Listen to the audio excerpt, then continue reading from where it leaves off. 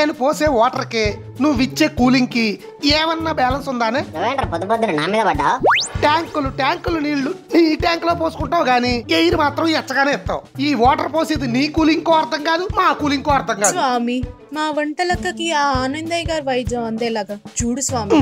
ఆవిడ చావు కోసం ఎదురు చూసి చూసి మీరు పోతారు తప్ప ఆవిడికి మాత్రం ఏం కాదు నువ్వే కంగారు పడదు మా బావ అంతే స్వామి. నువ్వేం పట్టించుకోకు. అలాగే మా ఫ్రెండ్ కథనకి కరోనా వచ్చిందంట. పాప హాస్పిటల్లో ఉంది. నువ్వు త్వరగా తగ్గించావంటే దాని చేత నిలదోపిడి ఇప్పిస్తా నీకు.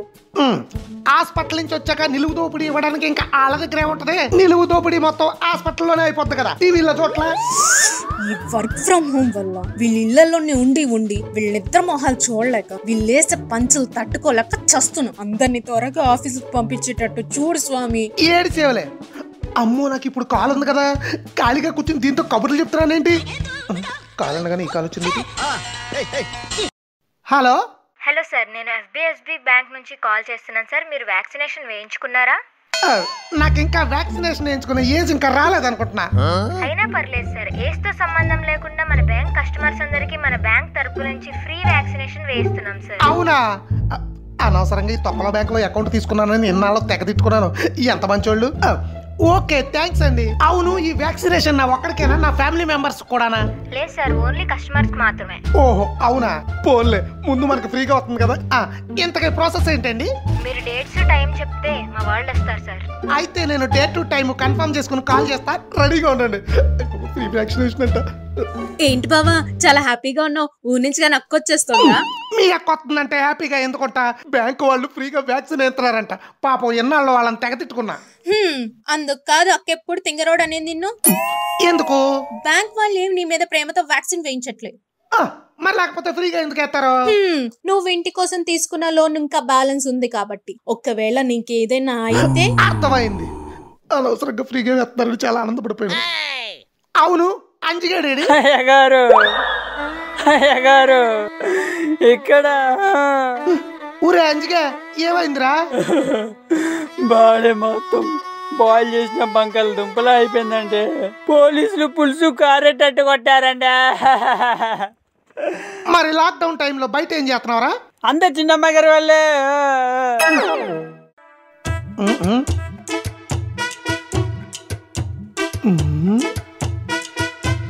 అమ్మాయి గారు ఇప్పటికి టైం అయిపోయిందండి. ఇంటికి వచ్చేస్తానండి. మా బాబాయ్ పోలీసులు కూడా తిరిగేస్తున్నారండి. ఒరేయ్ నువ్వు కానీ నేను అడిగినవి తీసుకురాకుండా వచ్చావనుకో. అమ్మాయి గారు ఏదైనా ఎమర్జెన్సీ అంటే బయటకు రావాలి కానీ ఇలా అడ్డమైన వాటికి బయటకు వస్తే బ్యాండ్ బజావు భారత్. అమ్మ పోలీసులు ఉన్నారంట అంటే ఏంట్రా నాది ఎమర్జెన్సీ కాదా? ఇంతకు ఏంట్రా ఎమర్జెన్సీ? చెప్పా మేకప్ పెట్టారస్ అంట షాప్లన్నీ లేవని చెప్పిన ఇంకొంచెం ముందుకెళ్ళు ఇంకొంచెం ముందుకెళ్ళని మాదాపూర్కి పంపారండి అబ్బా. పోలీసులు పట్టుకొని పిచ్చ కొట్టురు కొట్టారండి ఆయన ఒంటి పూట బడుల్లాగా ఒంటి పూట షాపులు పెట్టారని తెలియదా నీకు?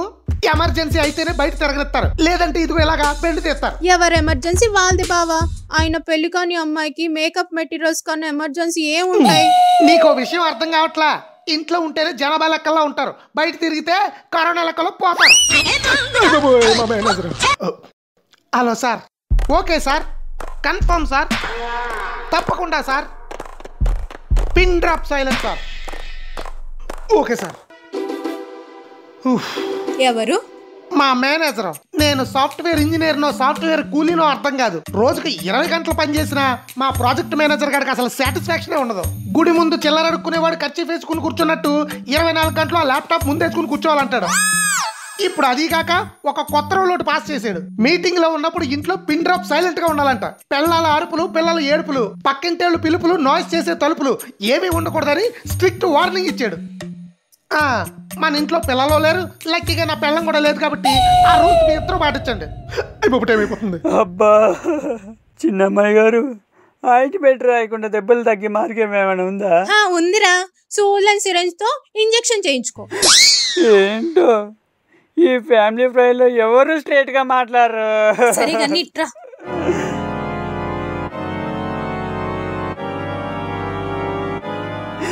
అమ్మ బాబాయ్. నా వల్ల కాదు ఆ పని నేను చెయ్యనా? చెప్పింది చేయలేదనుకో సేమియా పాయసంలో శానిటైజర్ వేసి కలిపిచ్చేస్తా. దెబ్బకి పోతావు. ఏంటో? ఈ ఫ్యామిలీ ఫ్రైలో అందరూ వైలెంట్గా మారిపోతున్నారు. చేసా మళ్ళీ స్టార్ట్ ఉమ్, ఈ చెవట్లోటి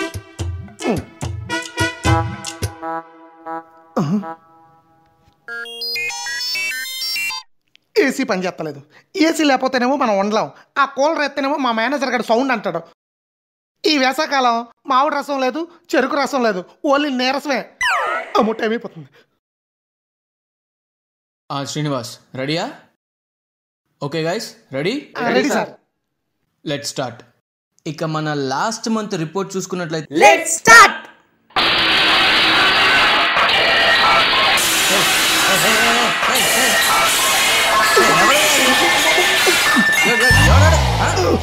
సార్ సార్ మా ఇంట్లోనే. Sorry sir. One minute sir. ఒరే అంజీ సౌజన్య. సౌండ్ చేయొద్దని చెప్పానా? అసలే మా మేనేజర్ గారు మెట్లగాడు. నిప్పులు తొక్కుని కోతలా గెంతుతున్నాడు. శ్రీనివాస్ అమ్మాయికి మ్యూట్ పెట్టావు? అయ్య బాబోయ్ మ్యూట్లో పెట్టలేదా? సారీ. సార్ ఏంటయ్యా సారీ వర్క్ ఫ్రమ్ హోమ్ అంటే వెటకరం అయిపోయింది ఒక్కొక్కడికి. అయినా ఇంట్లో వాళ్ళనే కంట్రోల్లో పెట్టుకోలేరు. ఇక ప్రాజెక్ట్ నేమ్ కంట్రోల్ చేస్తారులే. కరెక్టే సార్ ఏదో పొరపాటు నువ్వు అయిపోయింది. తక్కువ బావా. హలో మేనేజర్ గారు. నా పేరు సౌజన్య. నేను శ్రీనివాస్ గారి భార్య గారి చెల్లెలు గారి నేను మీతో రెండు నిమిషాలు మాట్లాడొచ్చా? ఏంటమ్మా మాట్లాడేది? ఇదేమన్నా మీటింగ్ అనుకున్నావా లేకపోతే మార్కెట్ అనుకున్నావా? ఎవరు పడితే వాళ్ళు వచ్చి మాట్లాడేయడానికి? ఆయన ఏం మాట్లాడతావు? మాట్లాడే. ఏం మాట్లాడుతుంది సార్ ఏం మాట్లాడదు లేదు. ఒక చిన్న కథ చెప్తా.